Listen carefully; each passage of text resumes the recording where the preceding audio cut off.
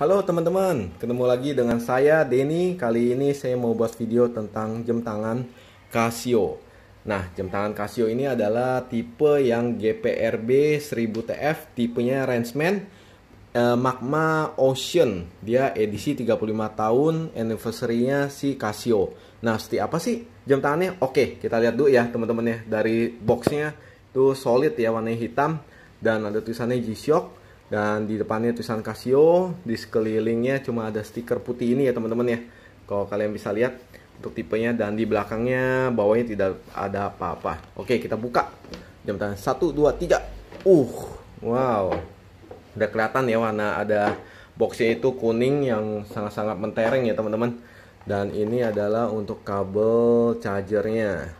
Kabel chargernya dan ada desktopnya warnanya merah dan hitam. Keren ya teman-teman ya untuk desktopnya aja seperti ini. Mewah dan dia unik bentuknya. Oke dan ini ada buku-bukunya. Oke kita singkirin dulu ya teman-teman. Nah kita buka boxnya. Oke kita turunin dulu boxnya. Dia warna boxnya ini warna kuning solid ya teman. Bahan logamnya bagus dan mewah dan elegan e, membuat dia kotak ini jadi kelihatan spesial sekali. Tulisannya ada G-Shock 35 tahun anniversary Wow, keren banget. Lumayan berat lagi kotaknya. Oke, kita buka. Kita mau lihat isi jam tangannya apa. Wow, keren sekali teman-teman. Ini adalah si Rangeman. Dua lightnya langsung LED illuminatornya langsung kelihatan nih teman-teman. Dan ini adalah G-Shock tulisannya. Oke, kita buka jam tangannya 1, 2, 3. Oke, ini dia. Kita taruh dulu boxnya. Nah, ini adalah jam tangannya, kombinasi warna hitam dengan warna rose gold, baut-baut dan tombol-tombolnya membuat dia semakin mewah ya teman-teman. Ini ada tipe Rangeman, tipe GPRB 1000TF. Nah, untuk speknya teman-teman, dia itu semua sudah sangat-sangat canggih. Dari bahan casing atau dari bezelnya aja udah bahannya dari resin ya teman-teman. Itu membuat dia baja tahan karat. Dan untuk e, tali jam tangannya itu strapnya bahannya dari serat karbon udah pasti tahan lumpur, tahan koncangan, kaca safir dengan lapisan yang uh, anti pantul, ketahanan water resistance bisa sampai 200 meter. Dan dia sudah pasti sudah ada uh, cahaya LED super illuminator namanya dan sudah bertenaga surya. Jadi teman-teman kalau bisa lihat di bagian bezel atasnya ini, ini ada lingkaran hitam itu adalah untuk uh, solar receivingnya. Jadi kalau misalnya teman-teman menggunakan jam tangan ini untuk adventure, udah pasti kalau misalnya kita kan pasti ada posisi di outdoor ya. Pasti terkena cahaya lampu atau cahaya matahari itu bisa langsung dia membuat posisi langsung otomatis ngecas. Jadi kita tanpa menggunakan desktop ini tanpa menggunakan listrik dia bisa cas otomatis dengan adanya cahaya itu sendiri. Nah next. Sumber daya. Sumber daya itu tadi sudah ya bertenaga surya dan ketahanan bisa di suhu rendah sampai minus 20 derajat dan sudah ada penerimaan sinyal GPS sudah pasti. Misalnya untuk navigasi dan untuk posisi kita ada di mana nanti dia bisa baca. Dan ini terhubung dengan aplikasi namanya Mobile Link. Dia e, menggunakan Bluetooth ya teman-teman. Udah ada memori titiknya hingga 60 set data titik. Mau itu waktu data e, kita datang waktunya posisinya di mana tanggalnya garis lintang garis bujur Eh, ketinggiannya sampai bahkan tekanan atmosfer sampai suhunya semua ada lengkap teman-teman. Bisa kita lihat nanti di aplikasinya. Dan sudah ada kompasnya sudah ada altimeter sudah ada barometer termometer sudah pasti. Dan sudah ada airplane mode dan sudah ada waktu work time-nya sampai 39 eh, zona waktu ya teman-teman. Tampilan waktunya bisa mataharinya bisa melihat terbit tenggelam. Dan ada stopwatch dan ada pengatur waktu mundurnya alarm, indikator level baterai, penghematan daya, kalender otomatis bisa tahun sampai tahun 2099 dan sudah ada format 12 atau 24 jam untuk pengaturannya dan sudah ada kecepatan waktu jam, menit, detik, AM, PM, bulan, tanggal maupun hari. Dan untuk akurasi jam tangannya ini teman-teman ya, untuk teman-teman ketahui ada kurang lebih 15 detik per bulan. Jadi tanpa penerimaan fungsi sinyal GPS atau tautan seluler ya dan untuk uh, perkiraan waktu pengisian baterai dan penggunaan GPS kalau normal itu sekitar 33 jam dan kalau high rate penerimaan kontinu khususan dengan GPS nya itu bisa bertahan hingga 20 jam sekitar 2 bulan lebih untuk fungsi non GPS tanpa penggunaan GPS sekitar 29 bulan dengan feature hemat daya setelah pengisian full, teman-teman. Nah, hemat daya itu ya tergantung dari lokasinya e, di posisi gelap di bagian mananya. Nah, itu adalah untuk spek-speknya. Dan sekarang kita lihat untuk dari bentuk fisiknya, teman-teman. Ini keren sekali kombinasi warna hitam e, dengan kombinasi warna gold dan warna rose gold itu sangat-sangat bagus dan sangat-sangat menarik untuk dilihat dan untuk di rasanya kita ingin memilikinya ya teman-teman ya dan kalau kita pakai jam tangan ini udah pasti banyak orang yang melihat bahkan bisa menjadi iri hati kalau kita melihat memakainya karena ini ada edisi Magma Ocean uh, dan untuk harganya lumayan uh, cukup tinggi ya teman-teman untuk edisi yang limited dari Casio-nya. Tetapi sebanding dengan kualitas barangnya. Sebanding juga dengan fitur-fitur yang ada di dalam jam tangan ini. Nah, kita lihat di sini ada tombol-tombolnya, ada tulisan protection, di atasnya juga ada tulisan G-Shock yang warnanya uh, warna grey ya, teman-teman. Dengan kombinasinya di sini juga bagian solar panelnya itu dia ada warna rose gold juga titik-titiknya. Dan di bagian sampingnya tombol-tombolnya itu ada warna rose gold dengan hitam, ini dengan warna goldnya, ini warna rose gold lagi dipadukan dengan baut-bautnya itu yang bentuknya simetris dan tahan e, guncangan atau kokoh ya katanya sungguh-sungguh e, benar-benar bisa membuat kita jadi melihatnya sangat-sangat suka teman-teman dan ini adalah sensornya dia untuk e, altimeter barometernya. Dan di bagian strapnya ada tulisan navigation system. Dan di bawahnya ada tulisan triple sensor ya teman-teman. Dan di bagian depannya juga ada tulisan untuk mood resist. Dan di bagian bawahnya carbon fiber solar power. Jadi uh, untuk strapnya itu ada kombinasi hitam dengan warna merah.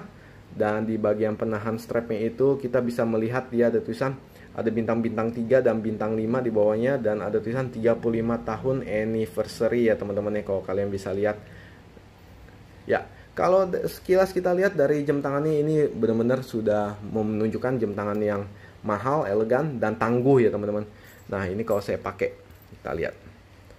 Wow, saya sangat suka sekali kalau pakai jam tangan ini karena kelihatannya tangguh dan e, besar dan kokoh ya teman-teman ya. Nah kita lihat untuk fitur-fitur di jam tangannya. Oke, tombol pertama adalah kita tekan tombol yang tulisan adjust ini ya. Kita lihat ada apa sih menu-menunya. Dia ada display dan ini kita bisa crownnya itu bisa kita e, putar ya teman-teman. Ada display, di bawahnya ada airplane mode, ada alarm, ada home city, ada DST, terus ada times and date, ada beep untuk pengaturan bunyinya, ada lights untuk pengaturan lampunya, ada unpairing. Oke. Nah, untuk display itu sendiri kita bisa tekan, kita lihat ada apa? Display. Display itu ada pilihannya screen atau 12 atau 24 hour. Nah, kita balik lagi, kita back, tekan back. Di bagian airplane mode-nya ada bagian apa? Dia bisa off atau on. Oke, kita back lagi. Dan alarmnya, kita tekan itu dia fungsinya alarm bisa. Oh, nanti mungkin alarm di aplikasinya ya teman-teman ya. Kita balik lagi ke menunya untuk home city.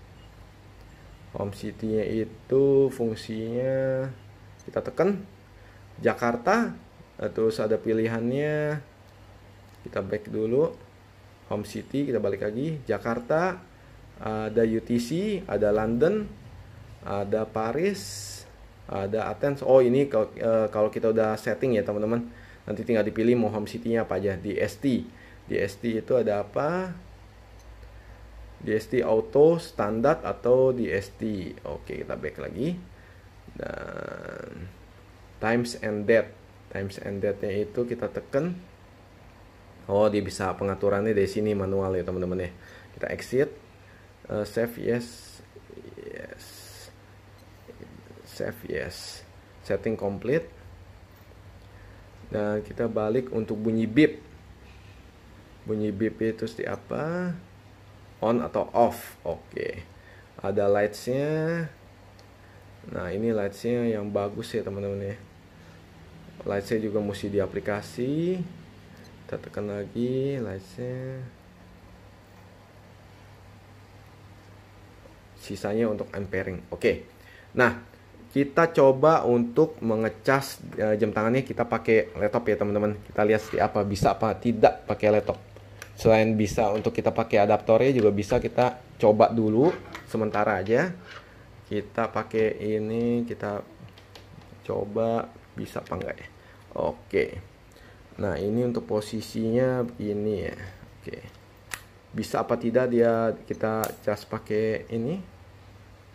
Kita oh bisa teman-teman. Ada muncul chargingnya ya. Nah itu dia ya tapi saya sarankan uh, jangan ngecas menggunakan USB dari powernya dari laptop. Kalau bisa kita bawa uh, adaptornya kita cas dari adaptor bawaannya dia supaya lebih aman. Karena kita nggak tahu kan besar watt atau ampere berapa ya teman-teman. Kalau di laptop kita juga nggak tahu. Lebih baik lebih aman daripada dia rusak jam tangannya kita pakai uh, bawaan charger dari si Casio nya nah untuk bahan belakangnya ini teman-teman dia ada satu lagi. Dia bahannya seramik ya.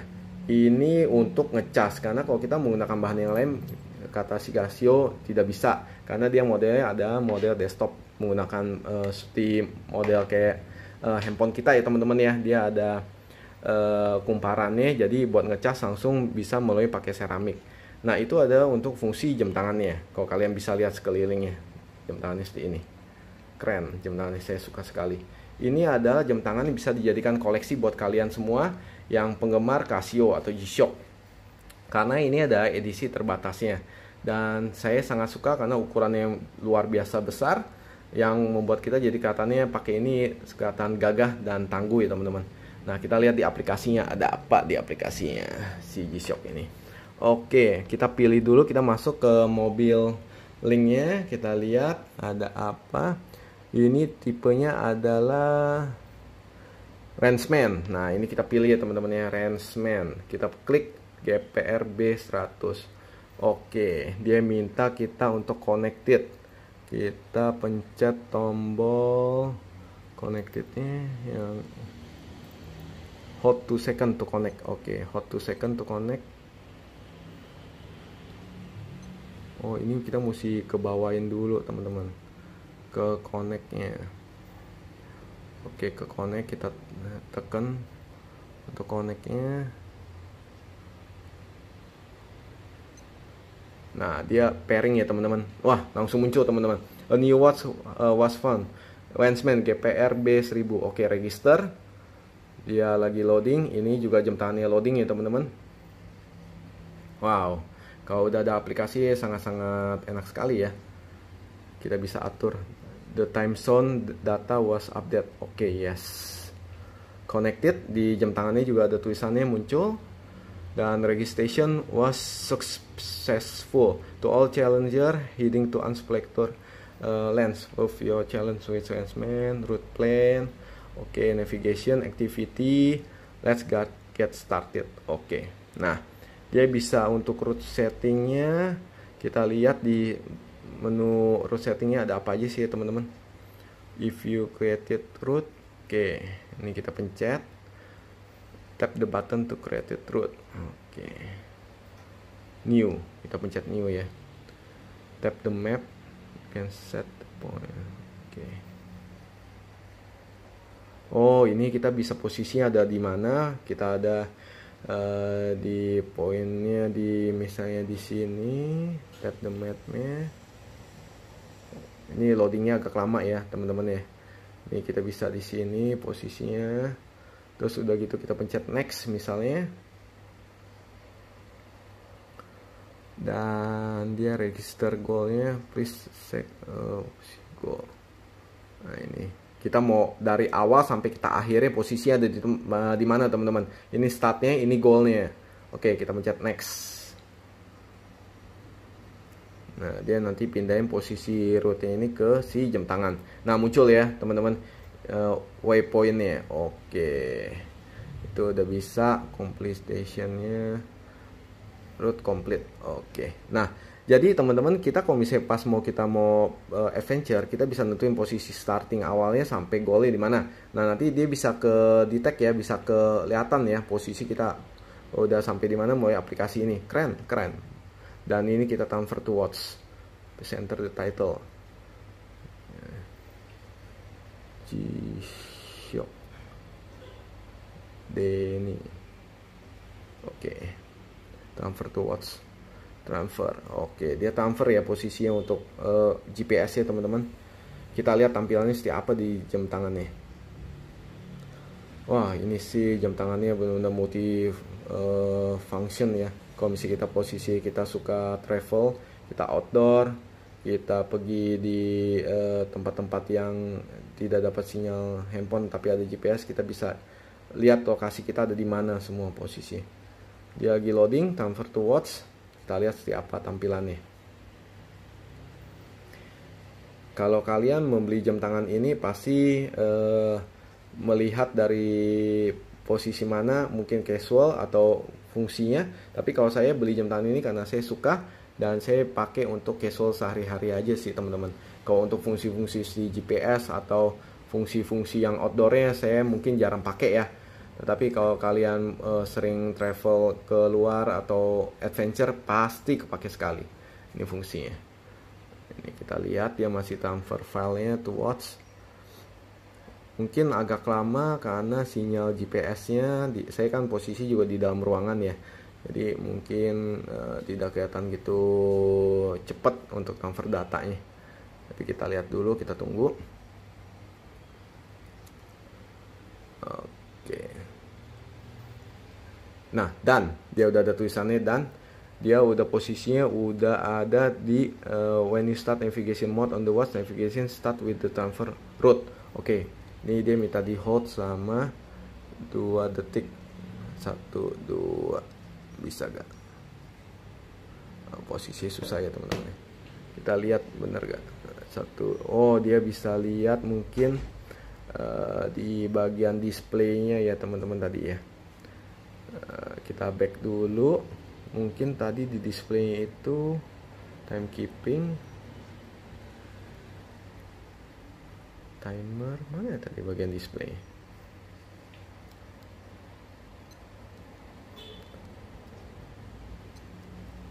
Nah, displaynya kita coba lihat screen. Ini bisa apa aja. Time and navigation. Nah, coba kita lihat ya teman-teman muncul gak? Time and navigation. Kita back lagi, back lagi keluar. Nah, ini dia posisinya nanti kalau dia muncul di sini ya teman-teman. Tapi mungkin karena sinyal GPS tidak ada, jadi dia belum muncul. Oke, nah kita lihat lagi menu-menu yang lainnya. Oke, ini kita close. Nah, ini kita bisa lihat GPX data. Nah, untuk bagian word timing bisa kita rubah-rubah juga ya teman-teman nih. Untuk word timing itu kita bisa mau ganti Jakarta atau kita mau jadi uh, ganti ke Hong Kong. Kita bisa atur semua di sini. Utility mau ada alarmnya, alarm 1, alarm 2, 3 sampai 4 ya teman-teman ya. Dan bahkan ada timernya juga. Oke itu what time activity oke jadi di fungsi untuk uh, aplikasinya ini jadi kita bisa lihat untuk uh, root settingnya tadi yang pertama dan untuk pengaturan waktu work time-nya nah itu aja. Jadi kalian bisa setting untuk uh, jam tangannya waktunya mau kalian pilih time zone-nya apa alarmnya apa dan timernya kayak apa. Itu aja. Oke uh, itulah video dari saya tentang review si jam tangan Rangeman G-Shock ini. Ini ada jam tangan yang benar-benar spesial buat saya dan mudah-mudahan bisa membagi sharing kepada kalian jika kalian ingin membeli jam tangan ini atau jika kalian suka. Kalian bisa dapatkan di toko G-Shocknya dan mungkin sekarang harganya udah agak turun ya teman-teman ya. Nah, kalian bisa cek langsung di G-Shocknya. Oke jika kalian suka video ini tolong bantu saya ditekan tombol like dan subscribe-nya. Dan jika kalian belum tekan tombol bell notifikasi tolong ditekan ya teman-teman. Sampai jumpa di video-video saya selanjutnya. Salam sampai jumpa